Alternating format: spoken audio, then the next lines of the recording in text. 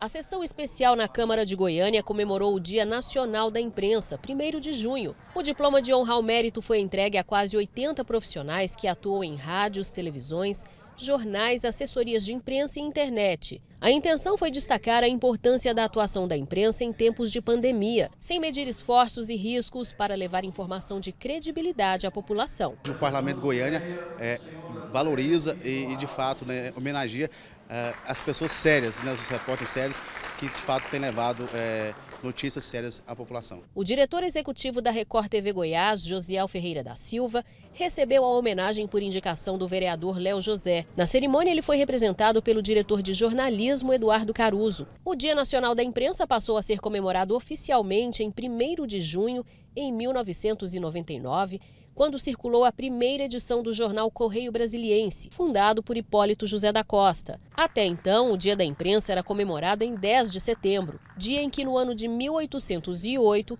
ocorreu a primeira circulação do jornal Gazeta do Rio de Janeiro, voltado para a divulgação de comunicados do governo e informes sobre a política internacional.